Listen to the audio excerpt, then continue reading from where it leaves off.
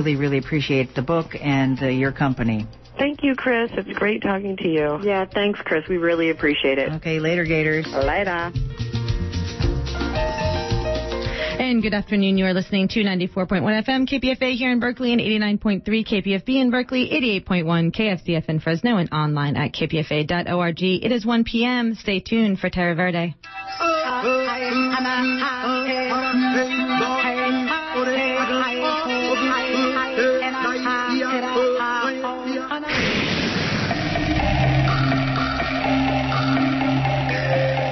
The Amazon basin, from the magnificent redwoods of California to the icy majesty of the Arctic, life on Earth faces an unprecedented threat from careless development.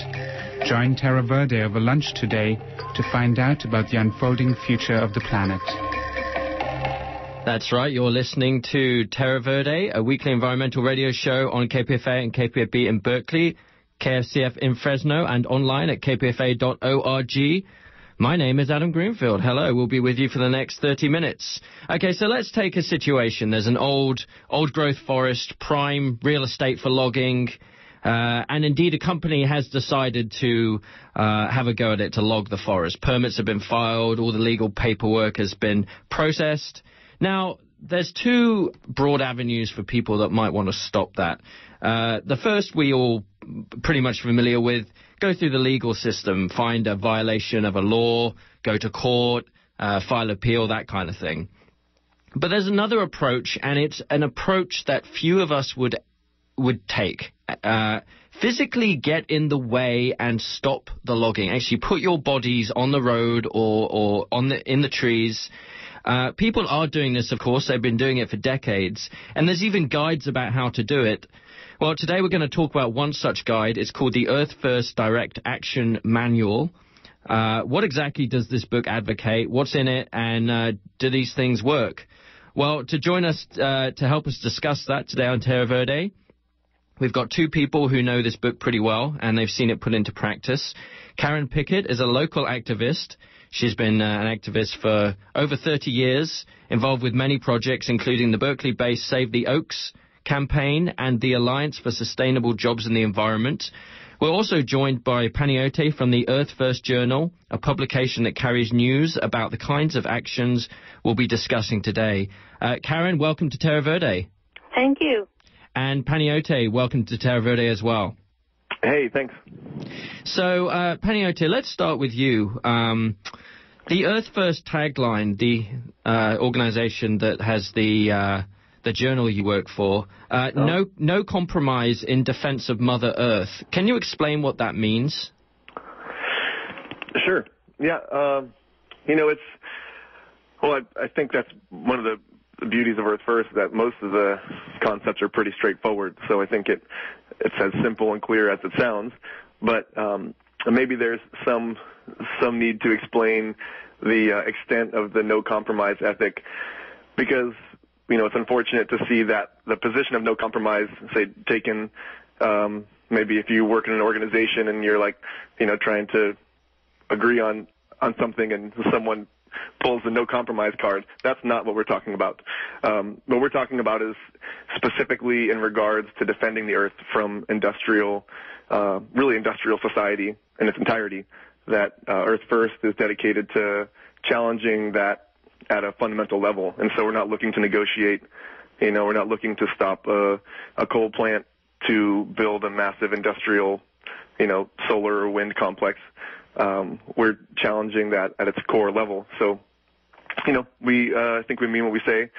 That we're not compromising, and when we're talking about defending the planet, and maybe an, uh, a comparison I've made before is that if someone's coming into your house, um, you know, and, and threatening you and your family, you don't start negotiating about whether or not you're going to, you know, trade off your uh, one of your siblings in exchange for being left alone, or, you know, that's someone you maybe start swapping like you can take a, a couple limbs, just don't kill us.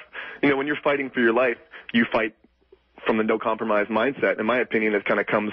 Um, a gut reaction, you know, comes like as a natural reflex. And we should have that reflex in relation to our uh, efforts to defend the Earth. Okay, and so today we're talking about a manual that, that outlines some uh, tactics and strategies for doing that. The Earth First Direct Action Manual. Panayotia, can you just give us a little bit of background on this on this book? Yeah, the uh, the manual came out in um, the mid '90s, and it was, although not officially or formally from the Earth First Journal, um, many people who worked on the journal and you know had relationships with, with printers and publishers. Um, and a lot of activists using some of these skills in the manual uh, put together the the project and put it into print. So I wasn't on the Journal Collective at the time in, in the mid 90s, but I'm familiar with some of the people who were. Mm-hmm. And it, um, had a second volume as well, and currently is, I think, in the process of trying to be um, re, you know, revamped with a third kind of belated volume. Okay, and and before we get into specifics, because because uh, it is available out there, kind of hard to find, but if you can, it's it's quite a an interesting read. But can you just give us a broad overview of what's in it? Sure. Yeah, like you said, it's it's been out of print and it's really just kind of been put into sort of the underground press at this point. Um, it's also available online but it's I think a hard document to apply that way because really it's hands-on skills. It's the kind of thing that you put in a plastic bag and you know to keep it from getting wet uh, and bring it out into the forest with you and open it up and really it's step by step on how to build road blockades, how to uh, occupy space for longer, not just in the backwoods but also in the cities, in office buildings, um, different techniques to you know extend your occupations or um, you know hold down your your road blockades so they're as effective as possible in bringing attention and uh, slowing down the you know the process or the uh, whatever it is the extraction industry or logging like you mentioned. So it's it's the basic skills for pulling those things off. Okay. Uh, let's get into some to some specifics now. Could you pick out a few examples of things that are talked about in the book and kind of uh, take us through it a little bit? Sure. Yeah. Um, well, some of my favorites in there are, um, you know, some of the, the simplest, like building tripods, um, which I think essentially is like something that kids would probably probably learn in like Boy Scouts or Girl Scouts or basic kind of camping 101. but magnifying that and um, creating a structure that one person could climb in and um, could sit in and basically require a cherry picker or a fire truck or some sort of heavy equipment in order to get them down. So what would be one person, you know, standing in front of a truck that would take within a matter of seconds to drag off the road, this structure becomes a blockade that tends to last a couple, usually a couple hours, you know, from one to five hours, depending on how far, how far out you are, maybe. But uh, like in some instances in, in the cities and reclaim the streets where one tripod's been surrounded by hundreds or thousands of people. They, that's, that blockade's been the primary way that they sh- shut down entire financial districts. Mm-hmm. Um, and and there's also techniques like how to build, um, we call lock boxes. Um, you, people have probably seen them by this point where there's essentially it's like a, a glorified, you know, sit in where your, your arms are connected with a a low tech but effective device of some sort of you know, metal or, or plastic even that makes it harder to drag you apart. So instead of just linking arms at the protest with the person next to you, you're actually attached and it requires, again, heavy machinery to get you apart. So it takes a lot longer.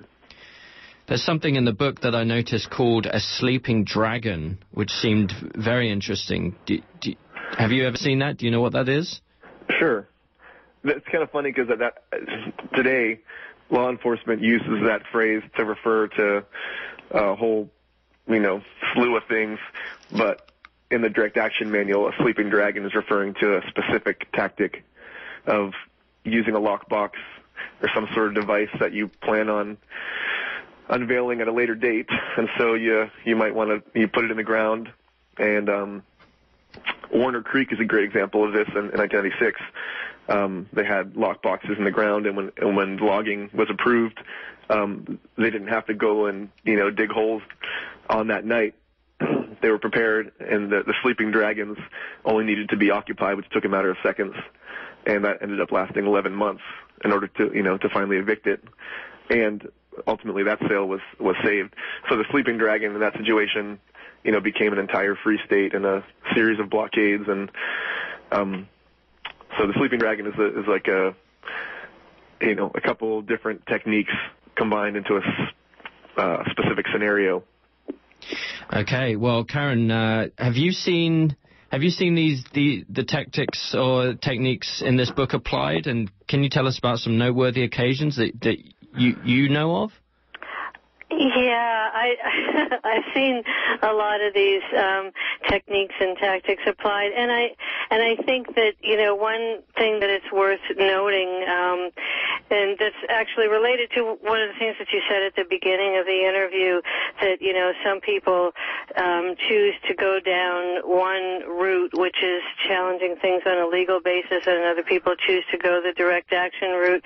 I think that in in a lot of campaigns and and in a lot of cases it's not necessarily either or but it's you know the the points in time and um and and the you know it depends on what it is you're opposing and who else you have as your allies when you're choosing your tactics and strategies because it's it's always about being effective and oftentimes direct action is applied after people have carried out um, other kinds of campaign strategies um, through you know legal routes or whatever, and then this is kind of the last ditch effort to finally stop them.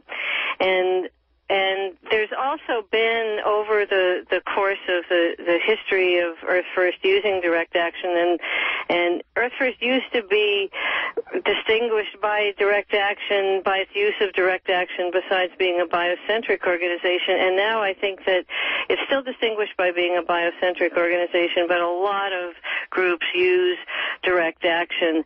And it's interesting to look at the evolution of not only direct action strategies, but the evolution of direct action technology over the years because um, the first blockade that I did in 1983 in the Bald Mountain Road in the wilderness area in Oregon, we really did without any technology at all, and it was because blockades were not being employed in forest campaigns, and so we could hike many miles into the forest and um, and do a blockade on a road that was being built and we really were able to take them by surprise. And so we essentially shut down the job for the entire day. And now police have their own tactics and strategies that they can pull out of their back pocket to deal with blockaders or tree sitters or whatever it is. And so we've had to evolve our technology so that we can still achieve basically the same results. And it's a pretty creative process, you know, whether it's people putting their arms in these metal pipes so that they are attached either to a machine or to each other, um, or or climbing high up in a tree with with two weeks worth of provisions, or climbing a bridge and holding a and hanging a banner, um, and it's you know really what what the appropriate technology for a particular situation is is what's going to be most effective. Can you uh, you, you, talk about the evolution of uh, blockade tactics in in kind of parallel with evolution of authorities tactics to you know deal with those? Can can you tell me a little bit more about that evolution?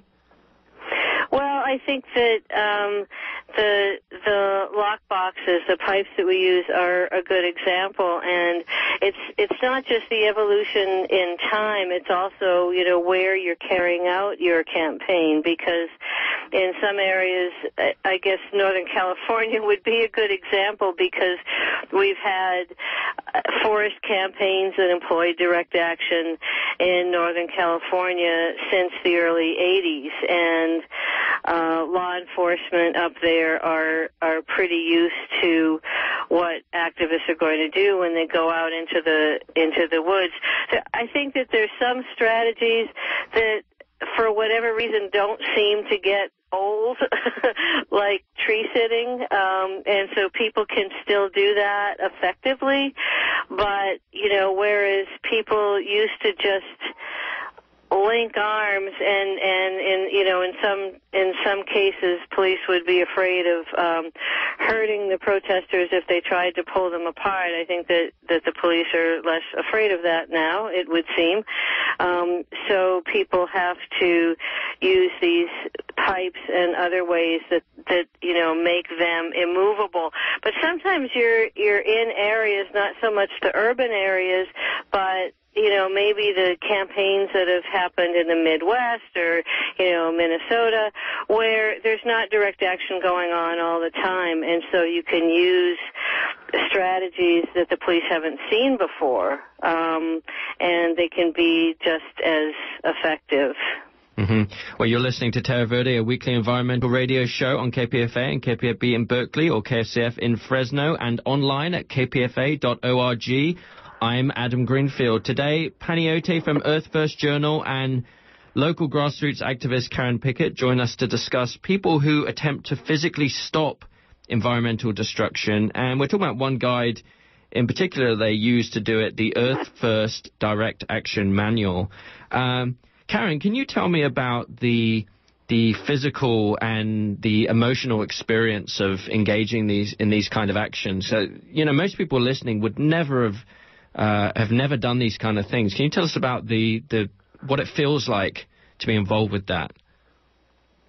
Well, and and I think that there's you know there's a lot of assumptions that that really don't hold true because people might think that you know putting yourself on the line, so to speak, um, like that is a is a brave thing to do or a scary thing to do, and um, it can be certainly, but for the most part, in my personal experience, I haven't found it that way. I've found um, engaging in direct action to be incredibly empowering, and it's it's actually what got me involved in Earth First in the first place. Was um, you know I was just kind of getting my dipping my toes in the, in the water, as it were, with my first blockade um, up in Oregon because I was really intrigued by what people were doing and and mostly because it was such a hands-on approach and I'd been involved mostly in recycling. And I did um my first blockade up there and you know it was it sounds kind of corny but it, I really had an epiphany because I I watched this bulldozer shut down turn off the motor lower the blade and the you know the guy climb out of the seat cursing at us. And we stopped work for that day on this road that never should have been built. And we won that campaign. So you know there were there were six of us. And we had no technology. So it's it can be an incredibly empowering experience. It's also a way to um turn small numbers of people into something that's much more powerful if you don't have the large numbers and and you can employ uh, you know other kinds of strategies when you do have the large large numbers and take advantage of those numbers. But i think you know it's a way to achieve that same level of of effectiveness. Panagioti can you tell us uh, about your your reflections? Sure I mean, I think I share most of the sentiments like, like Karen's been speaking of, but I also, you know, I uh, dabble a bit um, in various forms of, of organizing. I think as a lot of us do, but I've also um, been a part of filing, you know, administrative um, sort of challenges, legal challenges, or citizens petitions, and um, in organizing those and seeing how they work together with direct actions and blockades. I've come to, you know, I'm, I'm hoping that the um, the next direct action manual has a little bit more about some of that. You know, that um, I agree entirely that, you know, participating in direct action can be really empowering and effective, and a small number of people can accomplish, you know, amazing things. I've, and I've seen it above and beyond what these like huge, big green organizations pull off. We do out of our pockets, you know, on a shoestring. But I think that it's also important to acknowledge what we uh, often call paper wrenching or you know the administrative process that helps oftentimes create the formula that leads to a um, environmental victory. And so, you know, I, I I'm not sure if you have a more specific question, but just in listening to, to Karen's response, that's what I would want to add is that people see that's not necessarily that direct action is like distinct from other organizing, but that, you know, the, the broader and more diverse our tactics are, the generally the more effective we tend to be.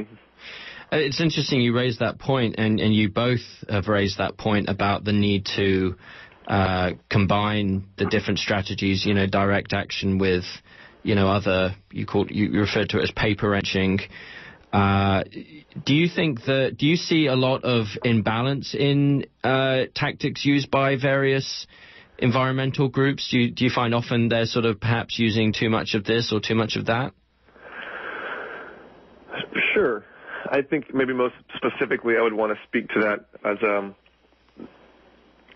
you know, I, I tend to on occasionally, uh, you know, on occasion come out to other meetings like our local Sierra Club group, um, who tends to also support actions and protests that our local our group here I'm involved with in the Everglades is, is organizing. And when I've asked them about their willingness to participate in civil disobedience, they've pointed to the organization um, that, as a whole, as a national club, their organization has a policy against it. Um, uh, you know, not allowing people to use civil disobedience as um, under the name of Sierra Club. And I would think something that you know that would be beneficial to a broader and more effective movement would be groups willing. You know, if our Earth First group is willing to file administrative challenges and um, you know petitions, it would be great if groups like Sierra Club, I think, also took a step in the direction of participating or accepting um, you know, their membership using civil disobedience as an effective strategy, which we know it can be. And that, that, to me, that's just kind of one example, but I think there's a lot of others that are also in there with different organizations who could maybe build the bridges between, um, you know, effective strategies and tactics. Mm-hmm.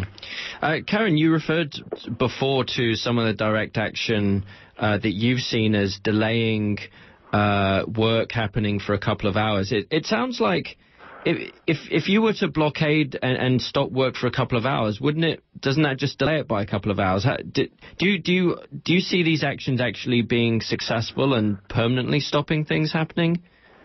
Well, they can be. Um, sometimes they are, sometimes they aren't. But I think that the um, you know, I, I think as Panayiotis said that that any sorts of um, tactics and strategies are, are most effective when they're um, when they're part of a whole campaign where where you're looking at what needs to be done um, right this moment. And a lot of times the delaying tactics have an, an economic fallout. And you know, if you keep at it, then then something becomes not really worth doing because you know a lot of the things that we're fighting, like logging on public lands and national forests, to use one example, are are, are only marginally uh, economically viable, and so you can kind of tip the balance by making something more expensive.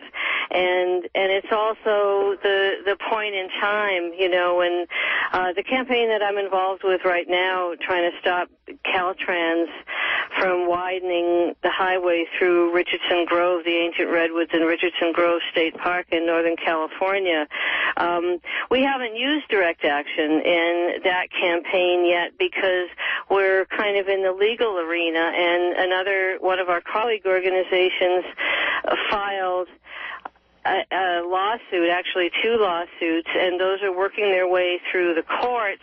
And we've gone and had rallies at the State House and at Caltrans headquarters in Sacramento.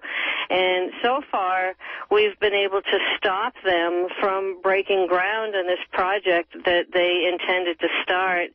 Um, you know, they, they intended to have shovels in the ground probably at least two years ago. And at some point in time, they might decide that it's, it's just not worthwhile because they have a lot of other projects. If they don't, and we lose in court, then we're out blocking the roads and and we're out there carrying out our direct action so you know it's it's really choosing that point in time. And i before we run out of time too i just want to mention that because i mentioned that campaign we have an event coming up at ashkenaz that is a benefit for the richardson grove campaign. And in fact we'll have copies of the direct action manual um, and the earth first journal at our table there it's it's on Friday, April 6th at um, Ashkenaz here in Berkeley, and it's called the Stomp the Stumps Benefit Dance Party, and it's a benefit for my organization, Bay Area Coalition for Headwaters and Earth First. Okay, Karen. Well, you preempted my invitation, so congratulations. I'll, I'll, hand the show over to you next time. um, I had one more question for you, actually, uh, Karen, before we uh, we close it out and Panayotia gets to speak as well. Um, the the direct action manual uh, has a whole section on non-violence, and it, it, it, really puts a big point on that. Can can you explain to us why uh, non-violence is such an important part of this, in your opinion?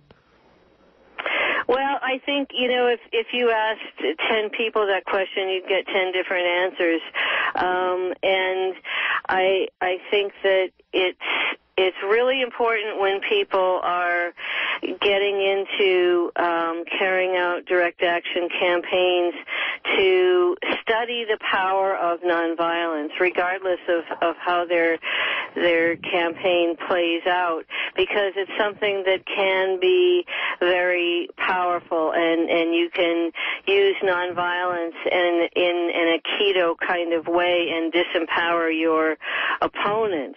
And oftentimes, when people employ violence, you know, violence begets violence. So I I think that it's um, it's something that that is used with strategic effectiveness to um, to get to a more powerful place when facing down your opponents. But it's also something that makes a very powerful statement and is, I think, one of the things that can make people uh, observing direct action campaigns okay. feel really inspired by what they're seeing. All right. Well, thanks, Karen. We're almost out of time. Uh, uh, Panayotia, do you, um, can, uh, how can people find out more about your work before we uh, close out the show? Yeah, it would be great if folks want to check out the Earth First Journal. We, uh, you can subscribe to the magazine online or follow our newswire, um, which we publish daily updates on the internet. But um, you know, there's not a whole lot of uh, publications left in print like this, so. I think if people, and it's really, we don't have a main organizational kind of bureaucracy. This is our networking tool. So I would say get in touch with the Earth First Journal, um, subscribe and, and, um, you know, spread the word about it and we can be in touch that way. You can find us at earthfirstjournal.org or call the office anytime. If I can give a number, it's 561-249-2071. We can probably scrape together a copy of the uh, direct action manual for you. Okay, wonderful. Okay, well, thanks, Panayotia and Karen. Yeah, thanks for having me. Okay, can I also mention that we have a free showing at Occupy Oakland this Monday of the just released Judi Bari documentary. Okay, wonderful. Right. Well, we, we are literally out of time, so that's all we've got. Uh, Terra Verde is going to be back next week. This show and others are available for download at stream at kpfa.org. I'm Adam Greenfield. Have a great weekend.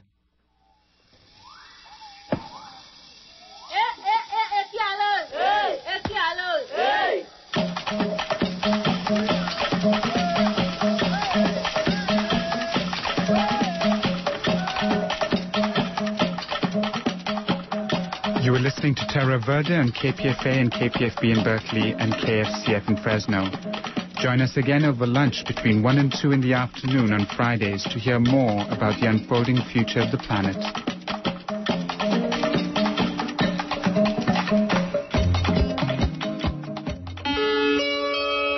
Peter Beinart, former editor of the New Republic, senior political writer for the Daily Beast, editor in chief of Zion Square believes today's Jews are failing at their most important challenges. He insists the relationship between American Jews and Israel must change. In his provocative new book, The Crisis of Zionism, he calls for American Jews to defend the dream of a democratic Jewish state before it is too late. Peter Beinart will appear on Tuesday evening, April 17th